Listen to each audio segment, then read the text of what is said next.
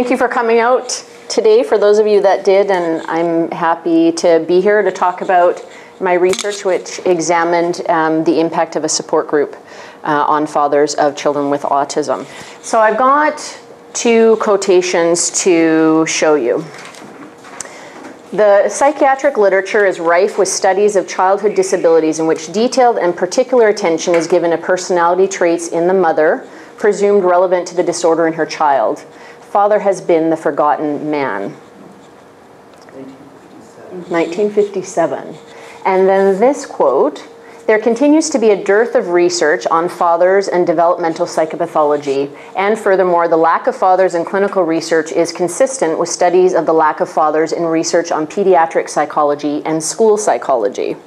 So these two quotations, separated by almost 50 years, kind of provides the backdrop for my research.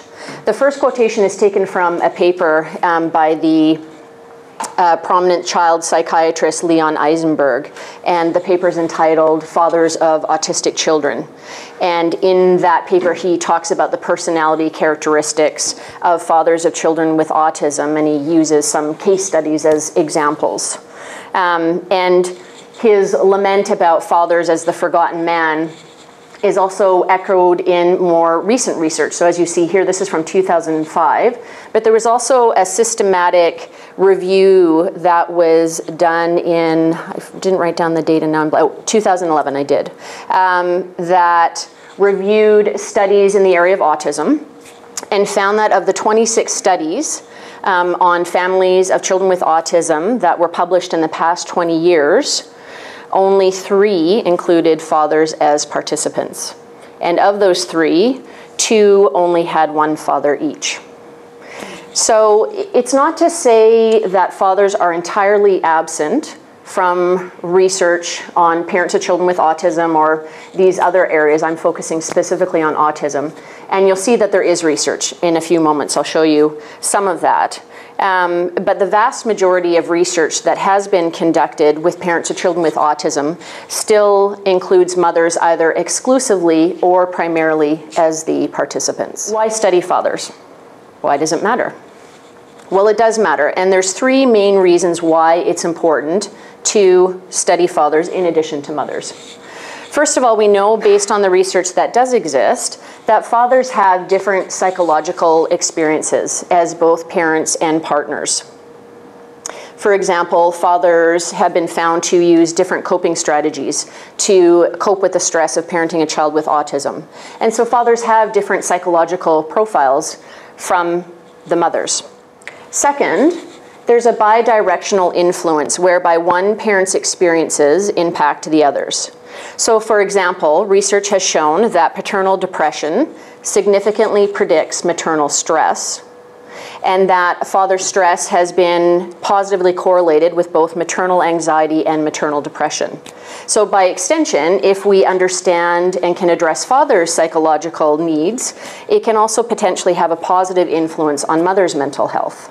And the third reason is that fathers on their own are influential and direct contributors, contributors to their children's development. So higher levels of father involvement have been shown to be correlated with higher cognitive development in the children. So for example, higher academic achievement, with higher social emotional well-being, for example, less depression, fewer conduct problems, and better physical health. So for example, less obesity and less substance abuse. And so fathers themselves, I mean, in addition to the children benefiting from father involvement, the fathers themselves also benefit from being more involved with their children. So higher paternal involvement has been associated with higher self-confidence in the father, higher parenting efficacy, greater psychosocial maturity, and less substance abuse. And this third point is particularly relevant in today's society because fathers are increasingly providing childcare and more responsible for their children. So really by not studying fathers, we're really excluding a vital and important piece of information and we're not getting a more accurate and comprehensive picture of these families. In examining the psychological experiences of parents of children with autism, I'm gonna highlight some of the empirical findings and based on certain variables, as you can see here there, right? Stress, depression, marital functioning, and optimism. And I've divided the research into three categories according to the populations that were being studied. So in the first category here, this column, this is parents of children with autism versus parents of typically developing children. So that's kind of the research in that area. Then there's also parents of children with autism compared to parents of children with other kinds of disabilities like Down syndrome or cystic fibrosis. And then in this column, this is comparing mothers to fathers of children with autism. So this one's autism specific, just moms and dads. Okay? And I've highlighted in red those areas where there's a consistent pattern in terms of parents of children with autism having higher levels of whatever it is. So in this case, we see that parents of children with autism report higher levels of stress compared to parents of typically developing children and parents of children with other disabilities. Does that make sense? I know it's okay. Um, and in terms of stress, comparing these groups where parents of children with autism are higher, this holds when comparing parents as a homogenous group, so mothers and fathers lumped together. And it also holds in the research that's only examined, say, mothers' experiences, so mothers of children with autism versus mothers of children with other disabilities, still higher. And also fathers compared to fathers in those groups as well. Okay, for these two categories. Now in this third group, mothers versus fathers, I have here mixed, and that means that there's not a consistent pattern in terms of one direction or the other. So some research has shown that mothers report higher levels of stress, and in other studies, fathers have reported higher levels of stress. So there's not a inconsistent direction or, pattern in, in one direction or the other for that particular group. Okay? Is that all still making sense? Yeah, okay.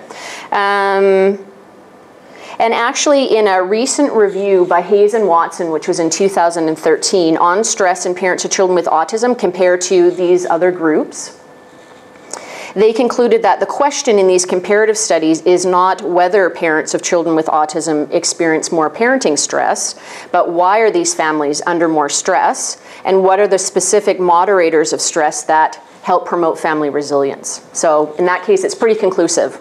They're definitely experiencing more stress than these other groups. And so what can we do about that? And looking at this next variable, depression, parents of children with autism consistently report higher levels of depression than parents of typically developing children. Compared to parents of children with other disabilities, again, it's mixed. It's, it's not sort of conclusive in one way or the other based on the research that is currently available.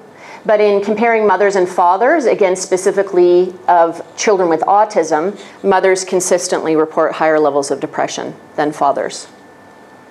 And these two variables, stress and depression, are really the, the most research in terms of parent psychological experiences is on those two variables. And as we get down here to marital functioning, there's more of a handful of studies. There's really not a lot of research that's available.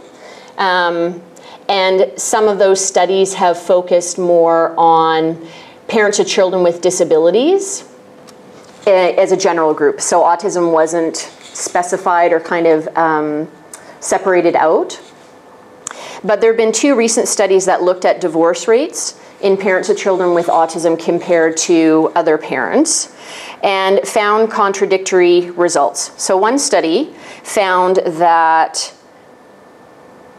in parents of children with autism, there was a significantly higher rate of divorce than parents of, trying to remember, I'm just checking, parents of typically developing children. And then in the other study, there was no evidence to suggest that parents of children or that children with autism were at increased risk of living in a single parent household. So it's interesting because you often hear people talking about oh, you know, the rates of divorce are so much higher in parents of children with autism. And that actually isn't the case if you look at the research. Um, it's, it's mixed results, so it's not, it's not clear. Um, and there certainly needs to be more research that's conducted because there's just a handful of, of, studies really that are out there. Um, and then looking at mothers versus fathers, there haven't been any differences found. So on the whole, it's not that one, you know, mothers or fathers are reporting either higher or lower levels of marital satisfaction or marital functioning. And then finally looking at optimism, there's scant research in this category. So as you can see here, no research comparing parents of children with autism to typically developing children, nothing on mothers versus fathers. And the handful of studies that do exist compare parents of children with autism to parents of children with other disabilities. And again, mainly mothers. And it's interesting that in the research that does exist, parental optimism appears to have effects that extend beyond just the psychological well-being of the parent, him or herself. So for example, there was some research done by Durand, and it's not specific to autism, but he conducted longitudinal research on how parental optimism or pessimism impacts the development of later challenging behaviors in children. And so he measured a number of parental variables that were hypothesized to predict um, the development of more severe behavior problems. And the best predictor was a measure of parental optimism. So those parents who had less optimism were um, more likely than to have children that had more severe behavior problems in the future. So obviously it's an area that um, would warrant additional research and certainly more research is needed. Given that uh, parenting a child with autism can be a very difficult and at times challenging task, there have been various supports developed to assist parents, and one of those is support groups, which is the focus of my study. So support groups are defined in different ways in the literature, and for the purposes of this study, a support group was defined as a group in which members gather to share their experiences about a similar issue. And the members give and receive information to each other as well as emotional and social support. And the group is led by a professional whose role it is to facilitate the discussion amongst the group members, and particularly focusing on people's personal and emotional experiences. In looking at prior research that has been conducted on support groups specifically and on the effects of support groups, there's scant research available. So there are four studies that have been conducted on parents of um, children who don't have autism. And in that group, um, two of the studies included fathers. And then looking at ASD specific studies, there have also been four studies conducted. And in those studies, a total of three, one, two, three, count them, three fathers that were um, included as participants in the, in the study. So there's very little research. Furthermore, the research is outdated. Five of the eight studies were conducted in the 80s and 90s, so not very current in terms of the information that's available. And most of the measures that have been used have either been uh, informal measures that were developed for the purposes of the study, so really weak or no psychometric properties, or they were primarily qualitative studies. And so parents were interviewed about their experiences or satisfaction with participating in the group.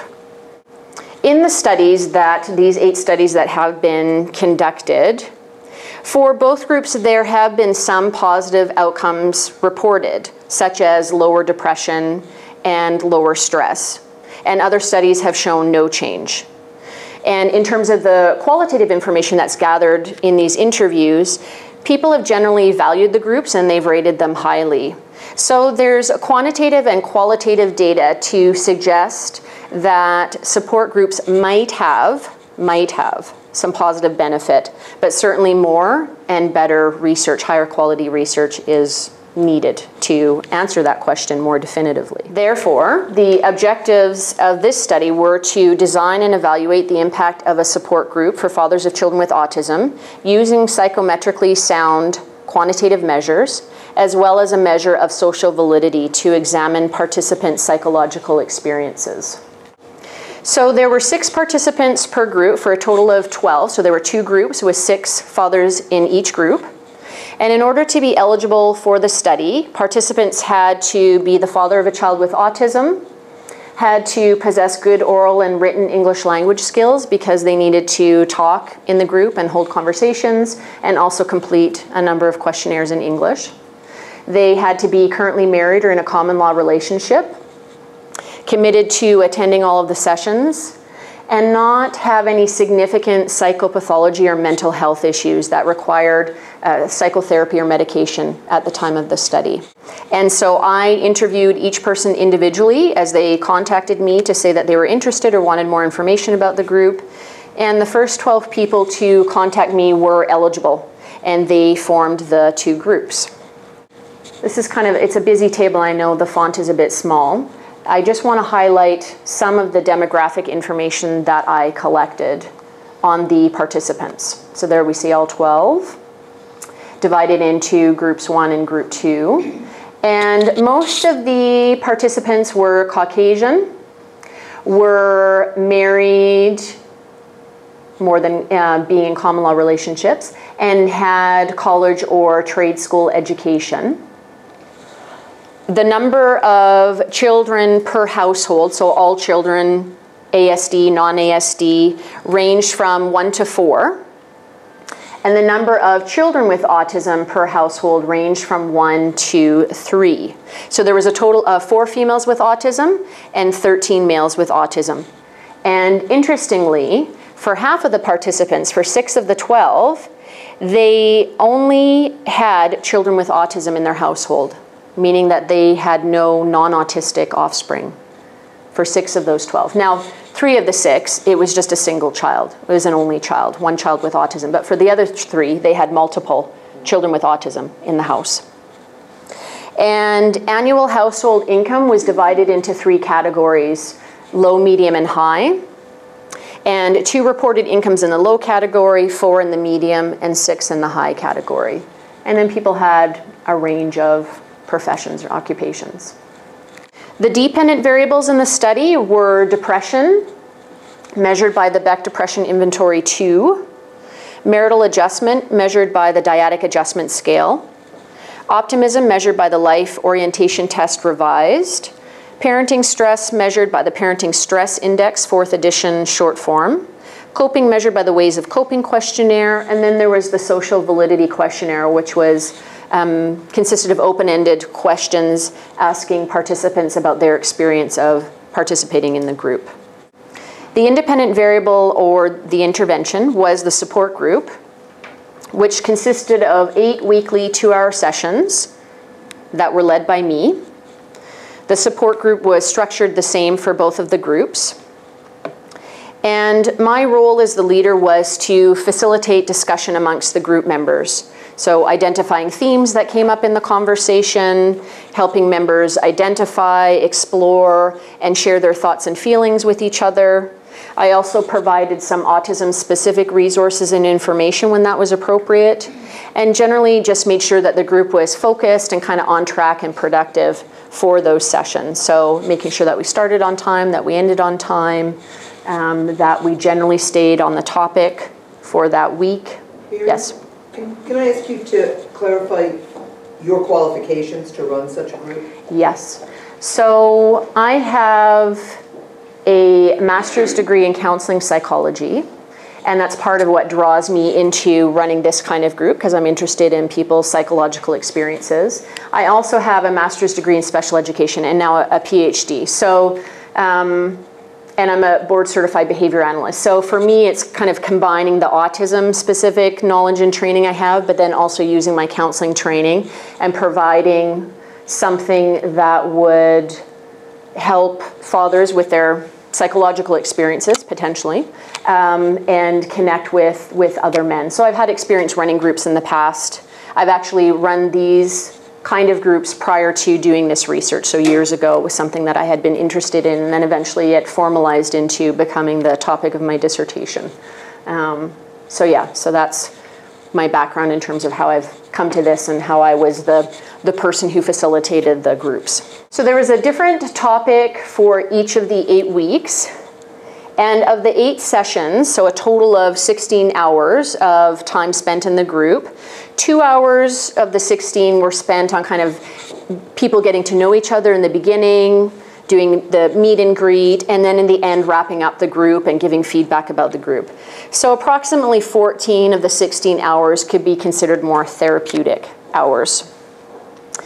There were a variety of topics, and these are based on topics that I had used in previous groups. Um, that fathers had said were relevant to them that they wanted to discuss. And we also talked about it prior to the group and got consensus about, you know, this is a list of topics um, and getting people's input on that as well. So there were three, you can see topic or sessions three, four, and five specifically address the impact of having a child with autism on various relationships with coworkers, with friends, with family, and actually, there's one whole session that was devoted just to talking about the spousal relationship, so people's relationships with their partners. There was a week that we spent one of the sessions talking about the future, for hopes and fears and what's coming down the road, lifespan issues. And then at the end, it was kind of more focused on what have you learned in this process? What have you learned from each other? What do you take with you moving ahead? um, and kind of preparing to kind of launch outside of the group and, and keep moving forward with the knowledge that they um, had gained and the information that had been shared in the groups. And then we had a wrap up and sort of feedback about the group.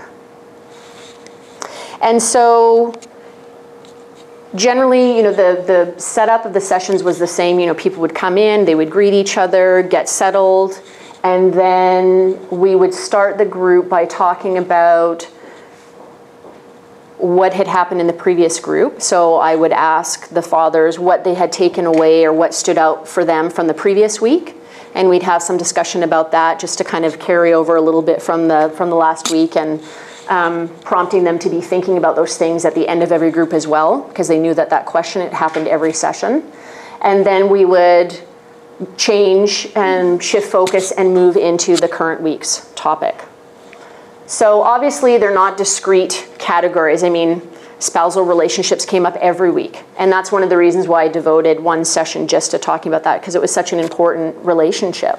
Um, and so these things kind of moved through the various sessions, but generally, in terms of the, the main focus, this was the main focus for each of those sessions.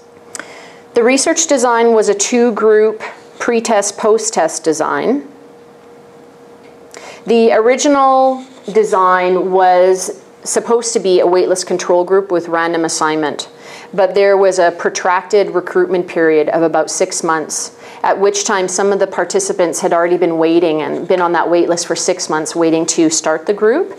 So the decision was made to proceed with the 12 participants that were available and wanted to start. And the two groups were determined based on people's availability in terms of their schedule and also the geographic location in order to make the group as accessible as possible to the fathers. So, therefore, no random assignment, unfortunately. And the groups ran consecutively. So, group one started and ran for eight weeks, every week for eight weeks. And then group two started and ran uh, right after that. In terms of data collection, both groups completed the measures prior to beginning the group, so pre-test, that's the pre-test measure, and then each group had their eight weeks of support group, and then they completed the same measures at the conclusion, at the very end of the, the last session, so that's post-test. And then for group one, there was a follow up. So, four months after they had completed the group, they filled out those questionnaires one more time. So, six of the 12 participants, the very first group. And so in looking at the two groups and analyzing them, looking at the, the baseline variables, there were no significant differences found between the two groups in terms of um, these pre-intervention variables. So they were combined and they were analyzed as a group of 12, as one group of 12.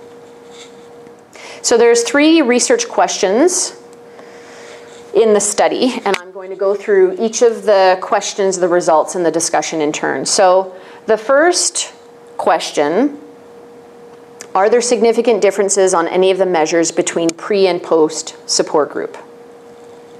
And the hypothesis is that there would be significant differences between pre and post support group scores on one or more of the measures.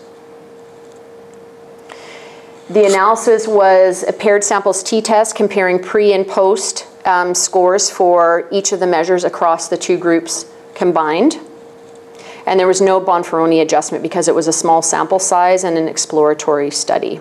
So you're going to see, I'm going to go through each of the dependent variables and you're going to see similar looking graphs and I'll help get you oriented. But we'll go through each of the, or I'll talk about each of the dependent variables and then the results for each of the dependent variables one after the other. So this graph represents the depression scores at pre-test, which is here in orange, and then post-test in yellow. On the Beck Depression Inventory, lower scores are better. So lower scores are indicative of less depression. And you see here there's this red line this is the cutoff between minimal and mild depression. So it's a raw score of 13. And there were no significant differences from pre to post support group. And you can see from the numbers that it's basically the same in terms of the group means, 8.6, 8.4.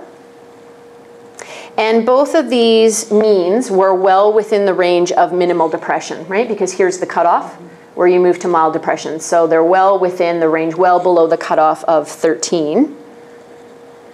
And no one person, in looking at individual scores, no one person showed any evidence of clinically significant levels of depression at any point in the study. But upon completion of the support group, there was one father, and I'll talk about him a little bit later too. The scores for one father actually decreased by 14 points, moving him from moderate depression, um, a score of 20, to a minimal depression score of 6 post intervention. So that was one of the differences. And as I say, I'll talk a little bit more about that. So, in terms of reflecting on why these results might be, uh, these findings, Participants were screened for depression, so those who might have had higher levels of depression wouldn't have been eligible to participate in this study. And given that the group was well within the range of minimal depression, there then obviously there's little room for change in their depression scores because they didn't have depression to start with. So in looking at the research on rates of depression, paternal depression, most of it's actually on maternal. No surprise, as I've been um, repeatedly saying. But in terms of the handful of studies that have looked at paternal depression in fathers of children with autism, um, there's rates of 17 and 30 percent in the autism literature. So the rate of depression in the current study is much, much lower than the published rates. And depression was essentially non existent in these participants. This graph shows the marital adjustment scores pre and post. So again, pre in orange, post in yellow. This red line represents the cutoff for uh, what they term poor dyadic adjustment. And on the dyadic adjustment scale, higher scores are better. So higher scores are indicative of more marital satisfaction, better marital adjustment. And there were no significant differences from pre to post. Again, the scores are fairly similar. And at both time points, you can see the mean scores are right around that borderline, that cutoff of 100. But there is also a lot of variability, again, in looking at individual scores. So six of the 12 participants had pre and post mean scores, or yep, uh, intervention scores that were within kind of normal levels of marital satisfaction, so below this cutoff. Um, and the remaining six had scores uh, sorry, above that cutoff, right? Because higher is better. So they had more normal marital adjustment, whereas the other six were here below the cutoff, so more um, poor dyadic adjustment.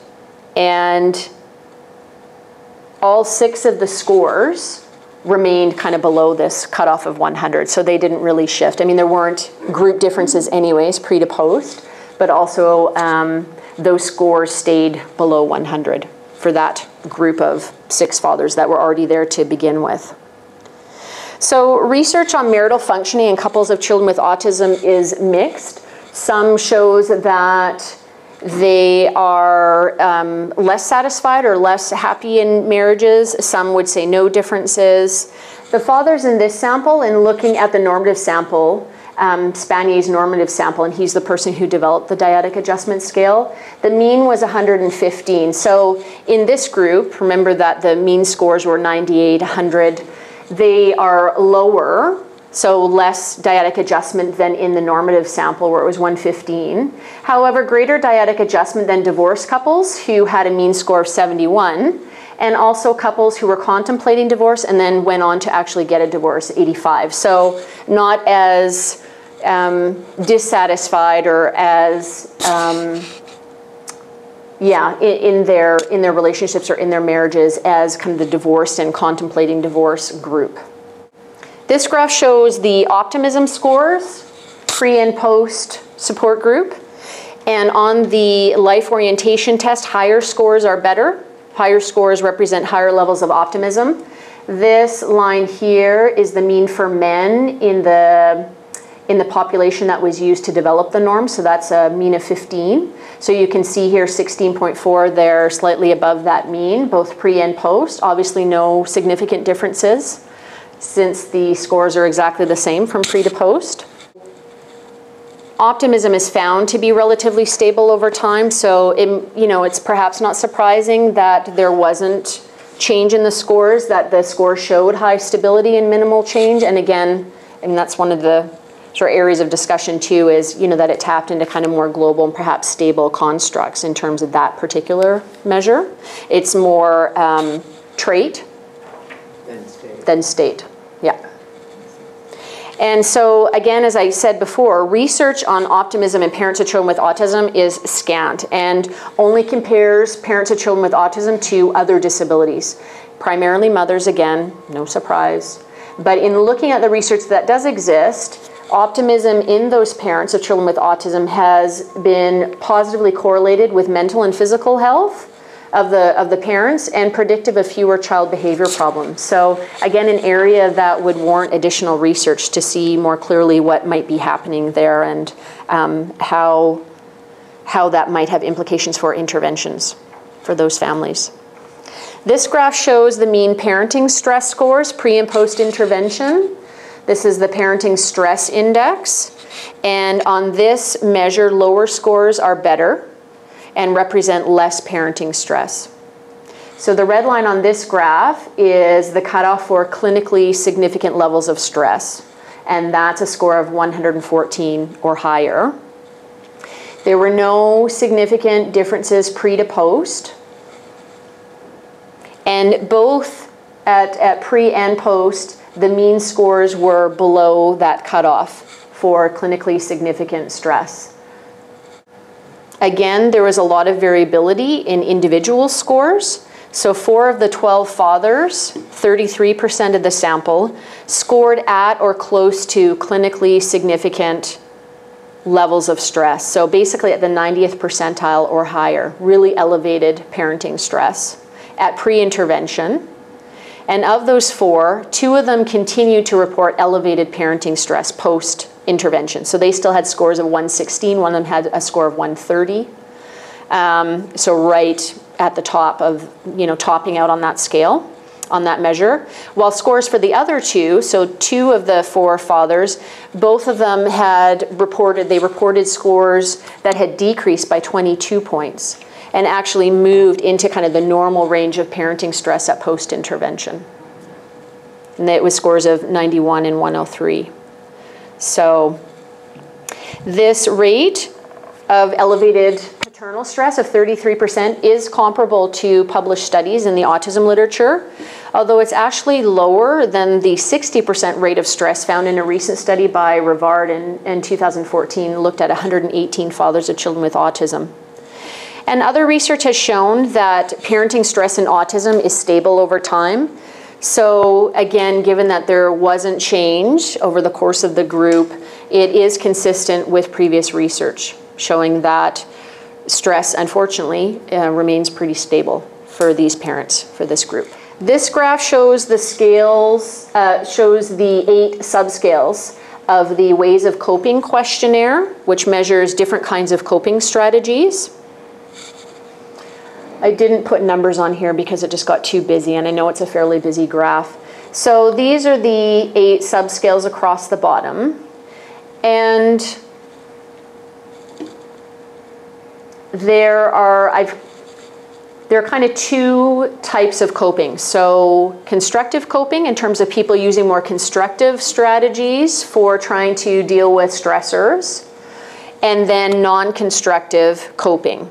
So for constructive coping, things like accepting responsibility, planful problem solving, kind of positive reappraisal of a stressful situation, reframing a situation, compared to more non-constructive types of coping. So things like confrontive coping, kind of getting more aggressive in your um, coping style, distancing, um, escape, avoid. For some, you know, um, reported kind of higher use of problem solving, um, here kind of self-control, um, accepting responsibility is lower, but each of the scales, I mean, it's sort of a, a subscale um, unto itself in a way. And so there were no significant changes on the subscales over time, again, without showing you all the, the numbers because it gets so busy. Um, but there weren't any changes from pre to post intervention.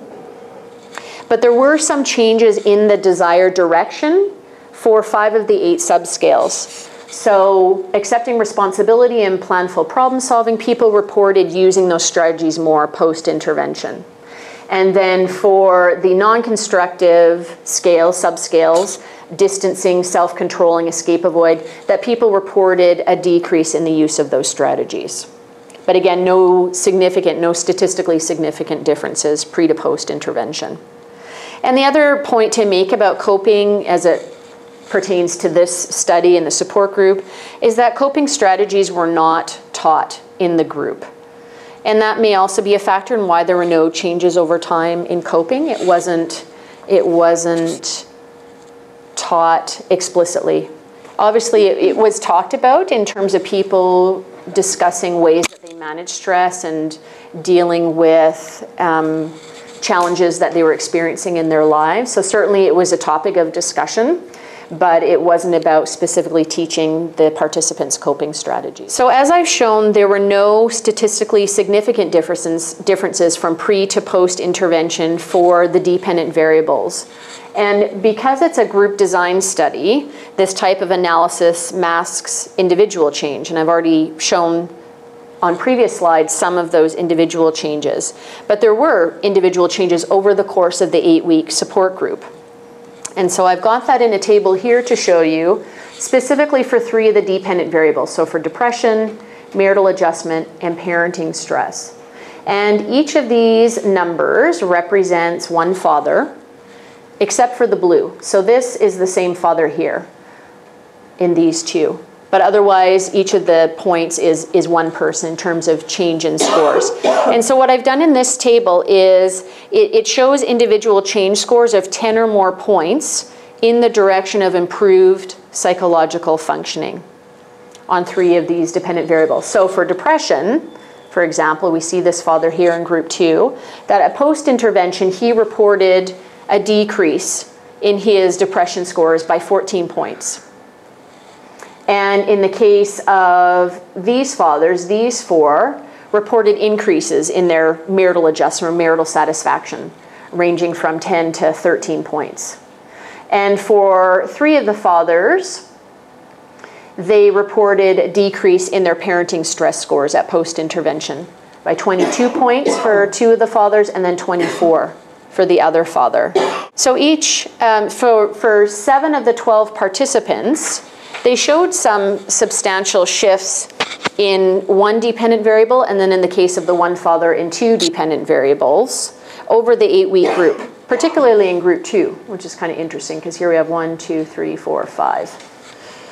So there were individual changes from pre to post support group. Research question number two. For group one, are there significant differences on any of the measures between pre-intervention and four-month follow-up? Or between post-intervention and four-month follow-up. So I was interested in follow-up to examine the possibility uh, of change over a longer period of time. And also because there had been a couple of studies, two studies, that had shown evidence of a sleeper effect at 6 and 12 months post-treatment.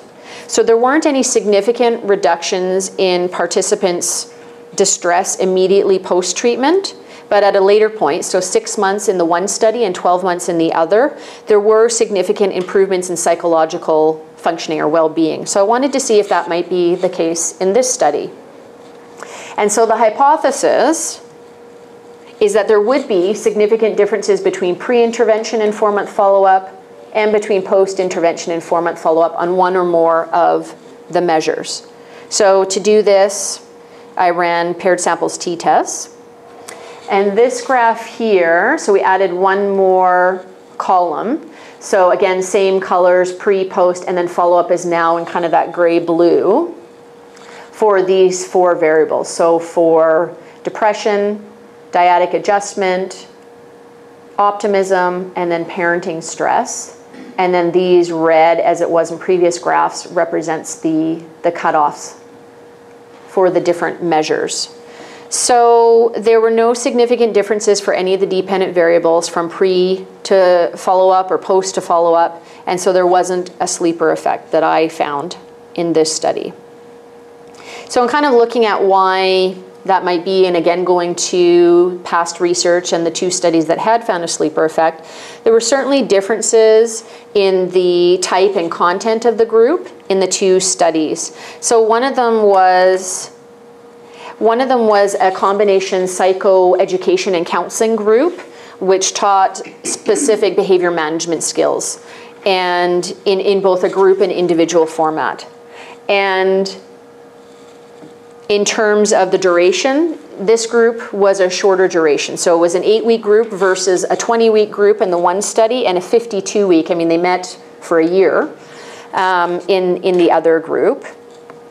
The follow up period was also shorter. So in this study, in my study, it was four months compared to six months and 12 months. So whether those variables had an impact, um, obviously need to take it into consideration.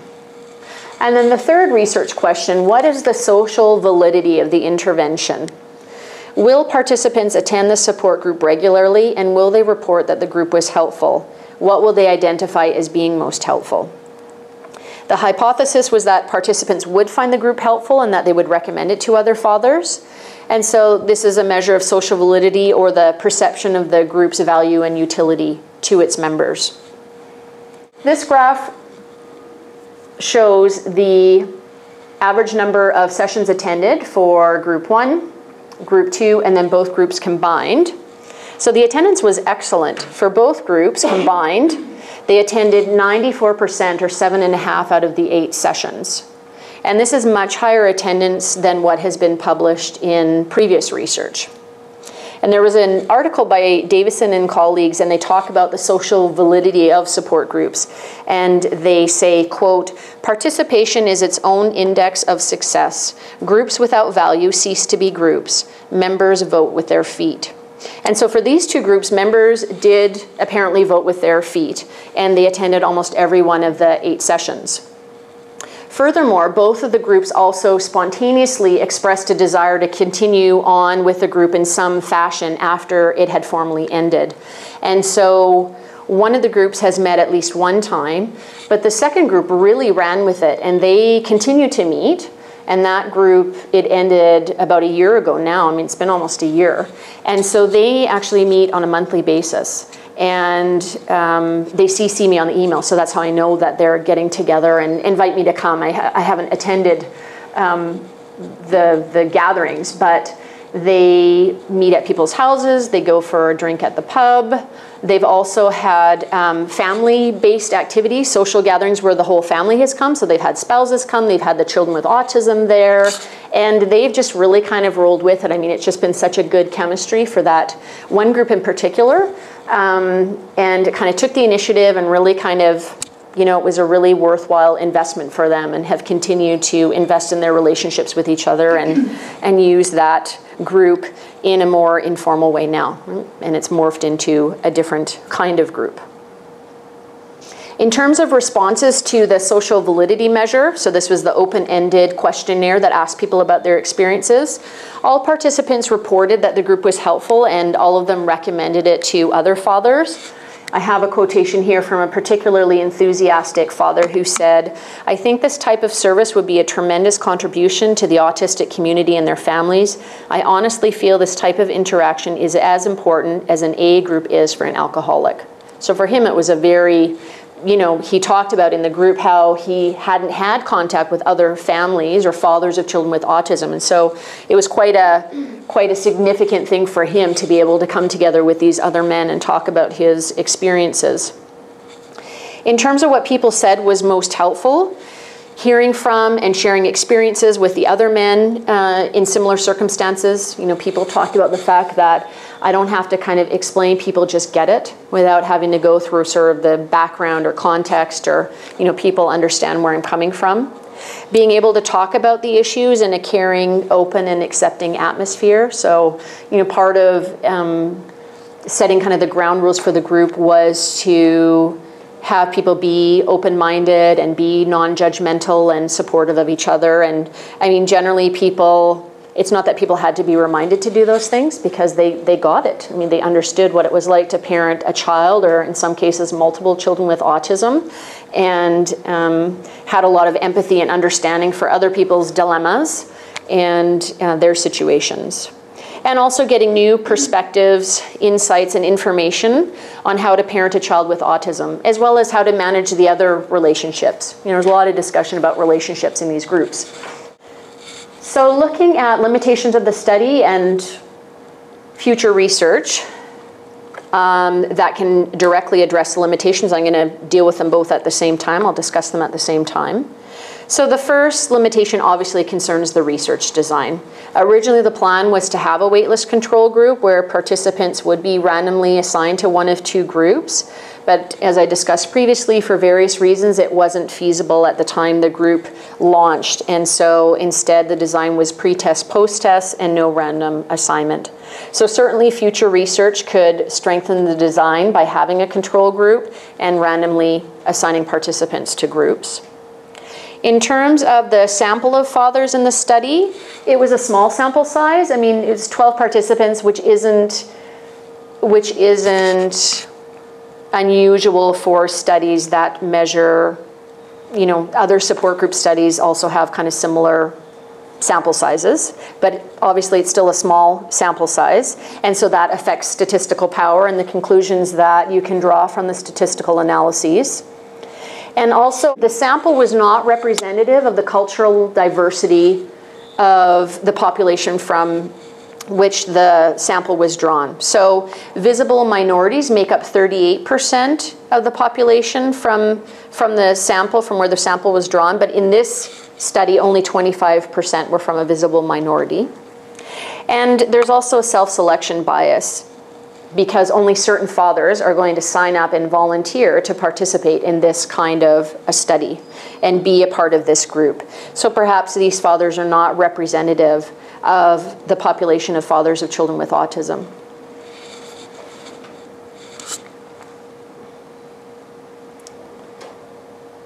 There's numerous variables related to the design of the support group that might have affected the outcomes. Perhaps a longer course of treatment, you know, more group sessions would have yielded more changes in father's well-being, or perhaps longer or more frequent sessions would have had a different effect. A different type of group, perhaps a psychoeducational group that focused on teaching specific skills like stress management, uh, might have resulted in different outcomes. And so these are areas for future research to investigate. And there's always measurement issues. So although I had measures that were psychometrically strong, were the measures sensitive and specific enough to get at what I was wanting to try and measure in this study? Were they um, sensitive and specific enough to detect changes? and whether alternative measures of stress, depression, coping might have tapped into other aspects of these psychological constructs that I was trying to study, and maybe they would have changed more significantly than they did with the measures that I used. And due to the small sample size, I was also limited to just looking at total scale scores. And being able to analyze those subscale scores might have resulted in kind of a finer grained examination of some of the variables as well, and might have detected other maybe more subtle changes. All of the measures were self-report, so obviously that's a consideration because it means that you're relying on the participants to be accurate and truthful about their psychological experiences. And so related to this is sort of issues around reactivity, like social desirability, right? So respondents might have responded in ways that um, cast them in kind of a more positive or, or more uh, higher functioning kind of light. They also knew that it was my dissertation, so that might have impacted them in terms of reporting more positive outcomes. And I was the only woman in a group of men. So, gender, of course, is something to take into consideration. Now, in looking at the research, there have been meta analyses done of therapist gender, and it has not been found to predict outcome, to influence outcome. So, um, it's not been the case in terms of looking at historically research that has been conducted that gender does play a role, but I put it out there too because that was the case. I was the only woman in a group of men. So, so in conclusion, this exploratory study was the first to examine the impact of a support group for fathers of children with autism using quantitative measures to assess psychological functioning and experiences pre and post intervention, and also using a measure of social validity to assess the group's perceived utility to its members. Sadly, the vast majority of research on parents of children with autism still uses mothers primarily as participants, and we really need more information about fathers. And from an empirical perspective, it gives us more important information about fathers' unique experiences and contributions and how these differ from or perhaps also are similar to those of mothers. And from a clinical perspective, the information that we gather using um, this research can help us develop interventions that will assist fathers to hopefully be better parents and partners. And that's it.